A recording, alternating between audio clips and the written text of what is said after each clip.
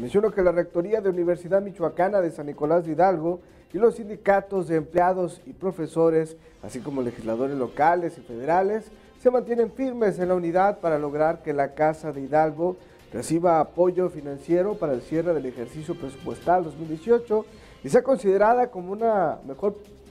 piso financiero para el 2019. En reunión de trabajo con el titular de la Subsecretaría de Educación Superior de la SEP, Luciano Concheiro, el sector Medardo Serna González, Jorge Luis Ávila Ramírez, dirigente del Sindicato de Profesores, y Eduardo Tena Flores, del Sindicato de Empleados, se clarificó la ruta que el gobierno federal seguirá para el apoyo financiero en la Universidad Michoacana,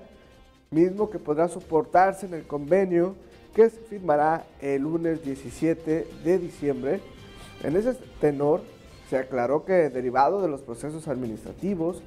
la designación de servidores públicos en la Secretaría de Hacienda y Crédito Público,